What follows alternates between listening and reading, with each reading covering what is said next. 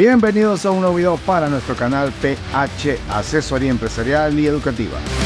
En este video vamos a salirnos un poco de lo que es el tema de la física y vamos a irnos al desarrollo de un ejercicio que me han solicitado como a mí me gusta mucho ayudar. Mis estudiantes de Matemática 4 relacionado al tema de ecuaciones diferenciales utilizando una resolución mediante Bernoulli.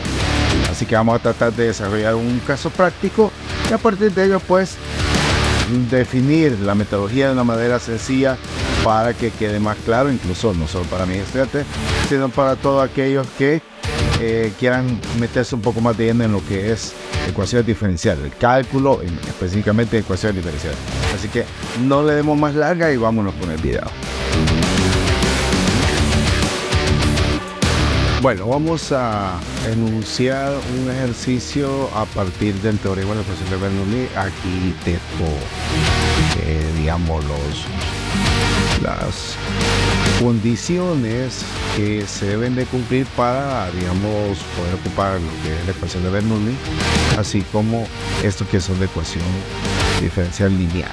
En el caso de la ecuación de Bernoulli, eh, partimos del hecho de que tenemos la derivada de ella con respecto a x más eh, p de x por una función y, por un q de x de otra función y a la n. Este me va a dar, digamos, el orden basado en esto, vamos a sustituir, vamos a tomar una, sí, una sustitución parcial, digamos, donde u va a ser igual a y elevado a la 1 menos b. Esto vamos a aplicar en este diferencial. Igual va a ser la línea. Primero vamos a tratar, eh, esta es una, una, ecuación diferencial típica. de y sobre x menos y igual a y al cuadrado sobre a la x. Entonces, partiendo de la ecuación de Bernoulli, debo identificar a p de x, al q de x y a u. Veamos, vámonos a los datos. según esto, voy a señalar. Aquí eh, como factor de y es un 1, entonces eso va a igual a p de x. Que igual a 1. Lo colocamos acá. Bueno, lo voy a colocar. Y tenemos eh, un q de x que es el que acompaña a la función, a la variable y con el mayor exponente que 2. Entonces, eso va a ser igual a 1 sobre a Excelente, entonces vamos a colocarlo acá. Este para reforzar la información que tenemos. P de x es 1, U de x es 1 sobre a la x. Y hay que obtenerlo. Se dice que sería igual a y elevado a la 1 menos n. Y n es el orden de esta, de esta ecuación diferencial del 2, depende muy grado. Por lo tanto, u va a ser igual a y a la menos. Hasta aquí creo que vamos bien. Hay que despejar también en función de y. Y sería igual a u elevado a la menos 1. Entonces ya tenemos parte de lo que necesitamos vamos a darle temperatura. Vamos a lo primero. Vamos a representar eh, un du de x. ¿Cuál es la idea de esto? Ojo. Es sustituir en la ecuación base de, de esta, digamos, ecuación diferencial, sustituir u por la y. O sea, hay que quitar y de y para que a partir de estos cambios se nos convierta en una ecuación diferencial lineal y ya lo podemos trabajar con estas propiedades. Bueno, aquí nos quedaría du de x, vamos a, vamos la que estamos, eh, derivando en este momento es esta que estoy marcando aquí en verde. Ahí lo pueden ver ustedes. Entonces du de x va a ser igual. Vamos a derivar ya a la menos 1 que que tuviera, vamos, menos 1 menos y y al menos 1 le sumo 1 va a quedar la menos 2 de un de y de x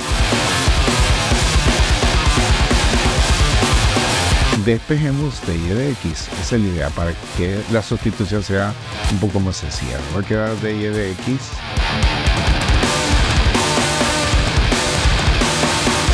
es igual por las propiedades de igualdad, al, digamos, al operarlo y que acompañe de u de x nos va a quedar menos y al cuadrado. Haga el de P y compare el de su casa. Se va a dar cuenta de que vamos a llegar a este mismo valor de u de x. Ya tenemos eh, de alguna forma ahora y lo vamos a sustituir por menos 1. Entonces aquí nos va a quedar dy sobre dx es igual o equivalente a menos u a la menos 1 al cuadrado, porque la y está elevada por un du de x. Y esto es equivalente a tener dy de x, que cada vez la letra me sale peor, ¿verdad? pero creo que se me entiende es igual a menos u a la menos 2. Porque aquí hay multiplicación de exponentes de u de x. Excelente, ya tenemos una parte. Ahora esto lo vamos a sustituir de alguna forma en el diferencial base. ¿Cuál es el diferencial base? Este que hemos marcado acá. Vamos, ya en vez de colocar dy de x, vamos a colocar menos u a la menos 2 de u de x. Sustituyamos, nos va a quedar menos u a la menos 2 de u de x.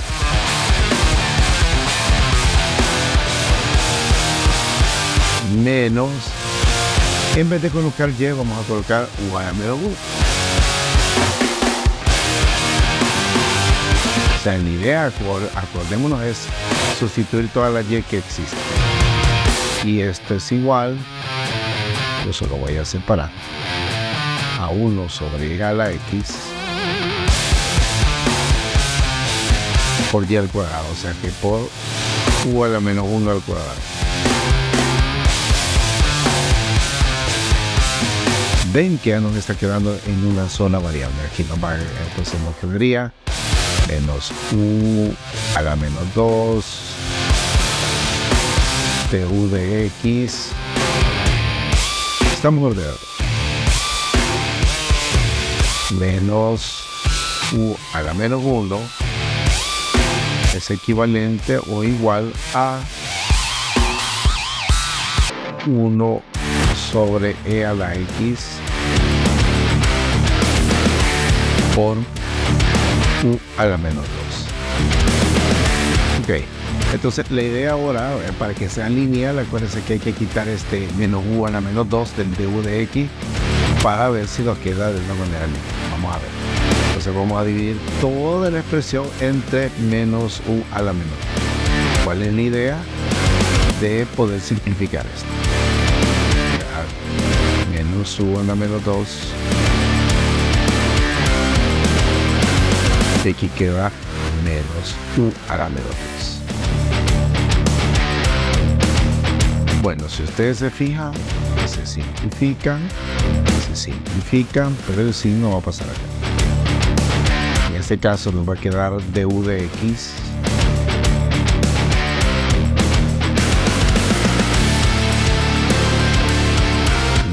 menos, por menos da más y se vuelve más.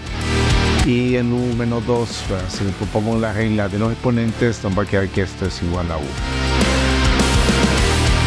Y esto es equivalente a 1 sobre e a la x y en este momento hemos obtenido una ecuación de tipo lineal una ecuación diferencial de tipo lineal lo cual vamos a aplicar esta propiedad donde dice que mu de x es igual a Euler elevado al integral de a de x de x y la otra propiedad que dice mu de x por y igual al integral de mu de x por r de x de x ya tenemos dos datos por ejemplo, este, ¿qué estoy haciendo?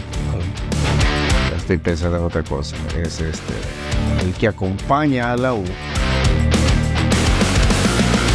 Eso va a ser igual a A de X, o sea que A de X es equivalente a 1. Y esto es equivalente a R de X y si no hay donde perderse. O sea que de x es igual a 1 sobre E a la X. Ya casi lo tenemos planteado todo. Vamos a mover esto para tener más campo de trabajo. Si partimos de acá, eh, la primera propiedad, digamos, el primer elemento dentro de una ecuación lineal es, vamos a definir esta mu de x, la cual dice que es equivalente a Euler elevado a la integral de a de x por un dx. Miren qué fácil, o sea, son propiedades que ah, es necesario memorizarlo, que tanto trabajarlo se le queda. Entonces, esto es igual a Euler elevado a la integral de a de x, a x es 1, o sea, por dx dx. Y esto es igual a tener e, la integral de x es x. Me queda mu de x es igual a e a la x. Excelente, ya tenemos el primer balón. Vamos al siguiente. El siguiente existe esta condición que dice que mu de x por u es igual a la integral de mu de x por y de x por el diferencial de x. Todo no tenemos. Quedaría e a la x por u.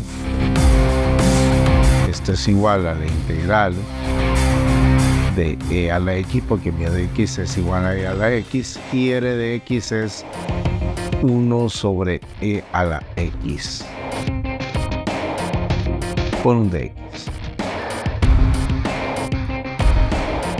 Y este como que tuviera eh, a la x por u igual esto si ustedes se fijan se simplifica y solo nos quedaría la integrante de x. Y aquí ya casi lo tenemos va a ser equivalente a tener e a la x por u. Igual a la integrante de x es x va a